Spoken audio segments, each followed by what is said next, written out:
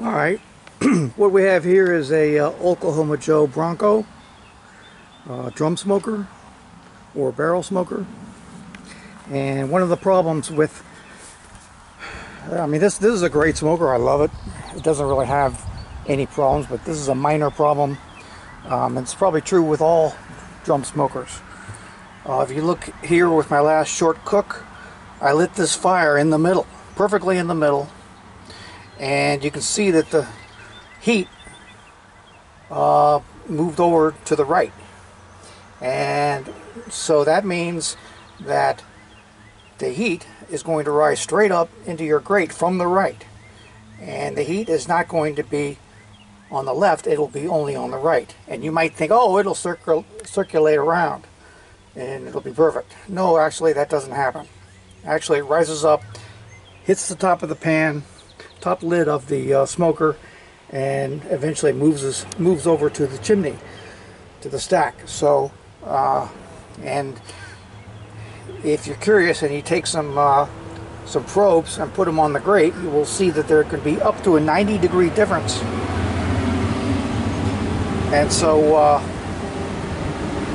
how do you fix that? I mean there's various things you can do that I've experimented with but uh, the best mod that I found was inspired by Weber. They've just come out with something called a heat controller, which is basically a steel disc which fits over most of the grate area and moves the heat to the side. Uh, so I tried that and it worked great. So I thought I would share it with you, uh, even though I don't really have a good 4K camera or any experience doing this kind of uh, YouTube video. So uh, the first thing you do is with Oklahoma Joe Bronco, it has a heat deflector. So you put that in there and try to center it best you can. And then you take an 18 inch pie pan or two. Uh, obviously this is going to get very hot so I use two uh, pie pans here. Just lay them on top, centered.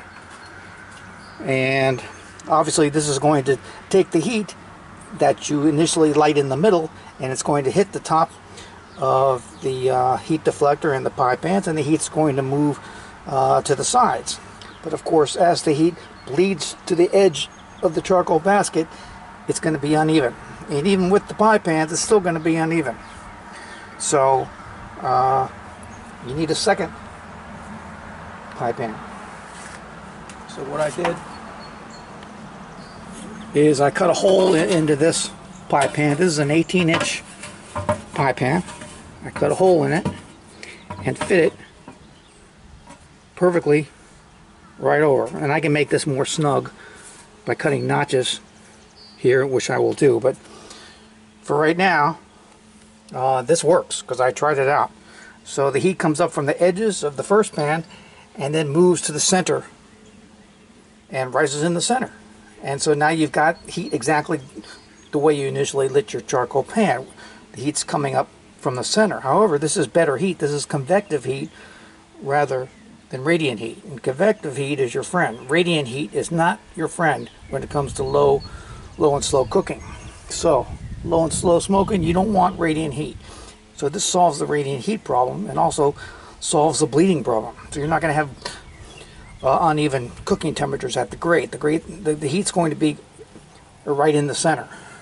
And that might be nice if you're cooking a pork butt, for example. Uh, but if you're doing St. Louis ribs or baby back ribs, maybe that's not ideal. So what can you do to solve that problem? Uh, you can put another pan in, of course. Uh, so I'm going to take some uh, pieces of hickory here that I have which I got from a from Home Depot. These are uh, sold by by uh, uh, by one of the companies that makes uh, makes charcoal and also wood. It's called Jealous Devil. Uh, Jealous Devil will uh, serves these in a box. You can get an eight pound box of these for eight dollars at Home Depot. So you put that in first to hold the uh, the second grate.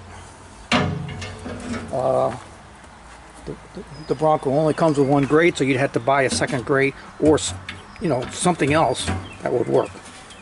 So you fit that in there like this, and then you put the pie pan in the middle. So this will take the heat and it, that's rising in the middle and obviously it'll deflect it to the edges. And if you have this perfect perfectly centered the heat will come evenly all the way around the uh, the pie pan and you'll have even cooking. And you don't have to use this pie pan. You could use any size you wanted. You could use a pizza pan of any uh, diameter that you wanted. Uh, I think it's 15 inches from here to here.